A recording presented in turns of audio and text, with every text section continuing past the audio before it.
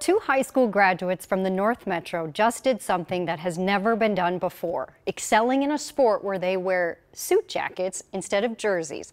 I want you to meet Sanyu Mwassa and Mariam Elias Danjuma. I love you. I love you too. Working together isn't always easy. With a black woman's butt. It helps when you're best friends. Yeah. Since second grade. We're two peas in a pod.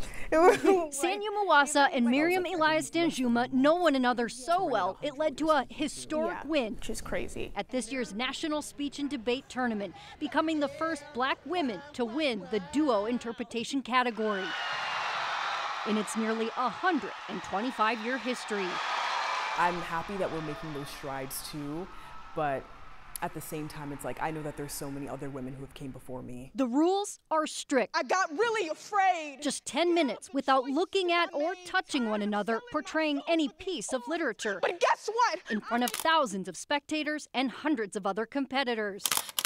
There is beauty in telling stories of our people, but also tell our own stories and be able to celebrate black joy. The performance about a down on her luck playwright salvaging her voice by starting to rap instead at 40 years old. Find your own voice. A unique choice, they admit, taking a chance on to truly just like be ourselves and tell a story that was a little bit outlandish and had you know some some things that were like oh my god they can do that you have to dare to be unique the two recent grads are leaving a mark at White Bear Lake High School. We came into this activity together and we're leaving together.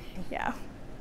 making it the only one in the state this year to win a national championship. I almost fainted. I was so excited for that moment. Their coach all but certain so proud they would come out on top. Their passion their drive, how much they want to give a voice to others, and they just have it out. Standing up for others on stage and in life, proving hard work. I made a different choice. Does pay off. We're so grateful for our connection. Find your own voice.